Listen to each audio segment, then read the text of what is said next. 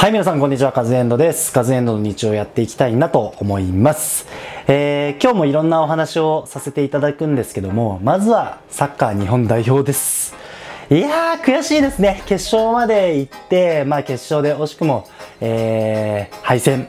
うん、まあ結果としてはね、3対1ということで、うん、まあ前半の2失点がやっぱり響いたのかな。いい入りがやっぱりサッカーできないとね、やっぱりずるずるいってしまうっていうことをよくあるんですけども、なんかそんな試合だったのかなと思います。まあとはいえ、あのー、2-0になってね、後半スタートからやっぱりこのままじゃいけないみたいな感じの立ち上がりでね、点返したりとかそういういい流れっていうのもあったんでね、本当に全然ダメだったかっていうとそんな感じもしないんですけども、いやでも悔しいですね。で、ハンドを取られたりとか、まあそういう不運もあって、なかなかやっぱりうまくゲームコントロールできなかったっていう試合だったんじゃないですかね。まあでも日本代表はね、今、まあ各国そうだと思うんですけども、世代交代をしている中で、若手がね、いい若手がすごい出てきたっていうのも嬉しいですし、中堅クラス、ベテランクラス、もうあの、どの層を見てもね、やっぱりそこそこ戦える、えー戦力なのかなって思っております。まあ、経験値を積んでいますし、若手とはいえ海外でやってたりとかね、なんか、いい相乗効果が生まれて、日本代表にね、しっかり還元してもらえればなと思っております。あの、日本代表に関してはね、これからコパアメリカもありますし、えーワールドカップ予選も始まるということで、うん、まあちょっとより一層、期待をしつつ、まあ一サッカーファンとしてですね、えー見ていきたいななんて思っております。なんかサッカーつながりで言うと、香川選手移籍しましたね。なんかやっぱり、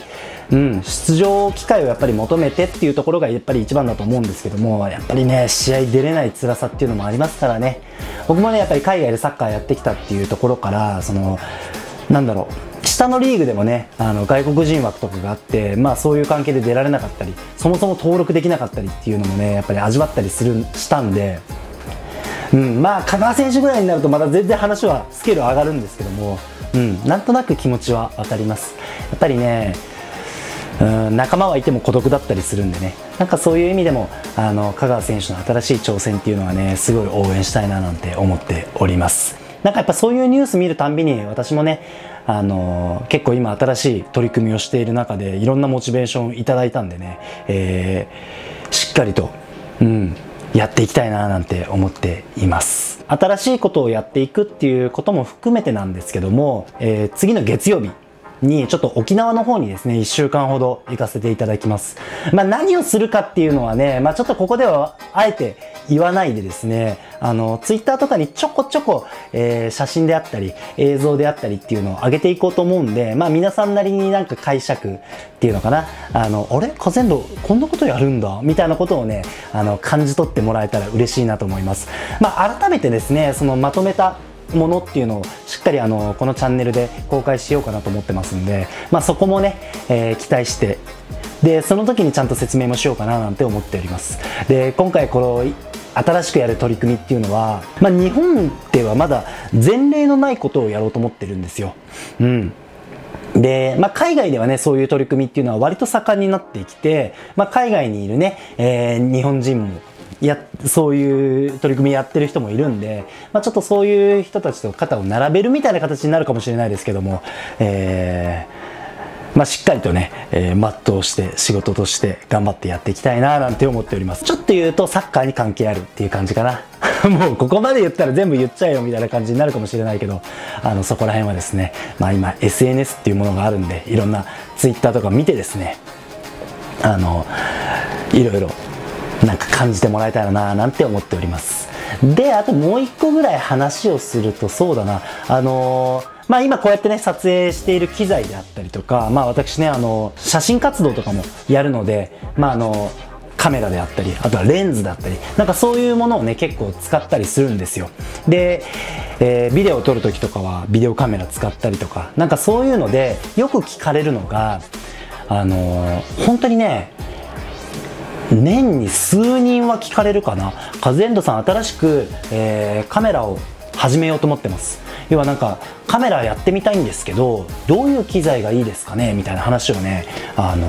よく受けるんですね。で、その時に、まあ、私なりの意見として、まあ、初心者にはこういうものがいいですよ、こういうカメラがいいですよ、こういうレンズがいいですよ、みたいな話はするんですよ。ただ、YouTube をねこれからやりたいっていう人にもまあちょっと似てるかなと思うんですけど割とね敷居はね高めなんですよ。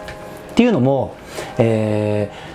ー、カメラって安くないじゃないですか。でなかなか買えないもの。なんかねそういう固定観念もあるしまあ実際ね、えー、そこそこ揃えるとしたら何十万っていっちゃうんですよ。いざ買ったところで使いこなせなかったらどうしよう。そんなこともある中で、えー、カメラのレンタルっていうのがあるんですね。で今回ちょっと沖縄の撮影に向けて私ちょっとずっと気になっててね、まあ、自分でも買おうかなと思ったんですけどこの GoPro これをですねレンタルしました。で、まあ、何ができるかっていうとアクションカメラなんでこのままね、えー、水の中に入れても撮れるしあとは何だろう手ぶれが強くなったっていうことでもう本当にリュックにこうやってガチャンってつけながらその Vlog 的な感じですか？日々の日常を撮ったりっていうことがこれで可能になる。これもね買おうと思うと、まあ、アクセサリーたくさんあるんですけども、まあ、一式借りたんですけどアクセサリーとか入れたらなんだかんだで8万円ぐらいいっちゃうのかな？10万円しないぐらいいっちゃうんですよ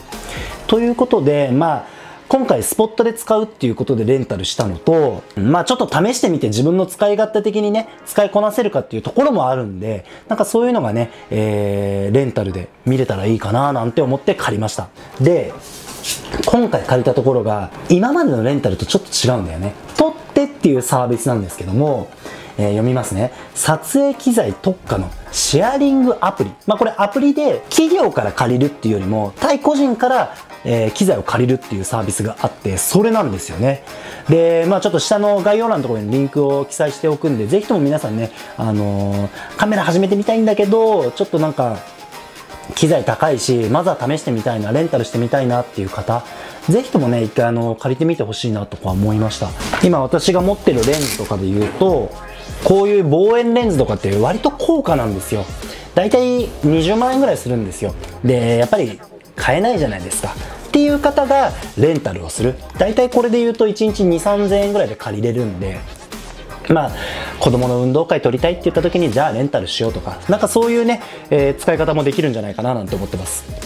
なのでまあこれからカメラを始めたい人以外にももうカメラ持ってるっていう方でも